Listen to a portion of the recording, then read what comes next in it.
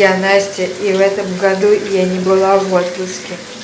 Поэтому поеду на БЖФ кэмп 2, 3 и 4 сентября. Потому что на нашем кемпе можно все, кроме того, что запрещено Конституцией и Уголовным кодексом Российской Федерации. Аталама